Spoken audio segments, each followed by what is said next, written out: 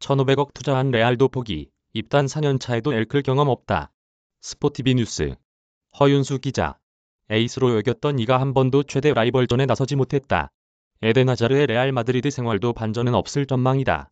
레알은 21일 스페인 마드리드의 산티아고 베르나베우에서 열린 2021-22 시즌 스페인 프리메라리가 29라운드 안방 경기에서 FC 바르셀로나에 0-4로 크게 졌다.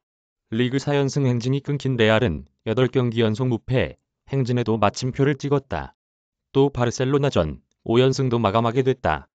카를로 안첼로티 감독의 전술적인 선택이 실패했다는 비판이 커지는 가운데 카림 벤제마의 공백도 한몫했다는 의견이 지배적이다. 올 시즌 벤제마는 레알이 치른 34경기에 나서 32골 13도움을 기록 중이다. 큰 존재감만큼 그림자도 짙었다. 안첼로티 감독은 벤제마의 공백을 루카 모드리치 제로톱으로 메우고자 했지만 어울리지 않는 옷이었다. 벤치에 루카 요비치, 아자르 등 공격 자원이 있었지만 활용하지 않았다.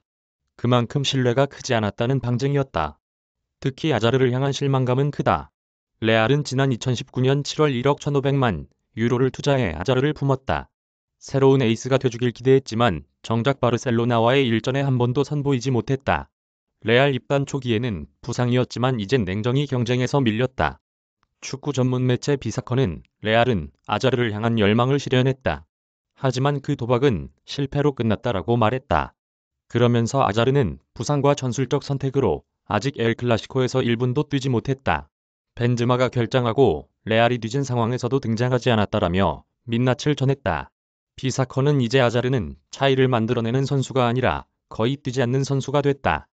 팬들도 더는 그에게 아무것도 바라지 않는다라며 외친 존재감을 설명했다. 저작권자 스포티비 뉴스 무단 전제 및 재배포 금지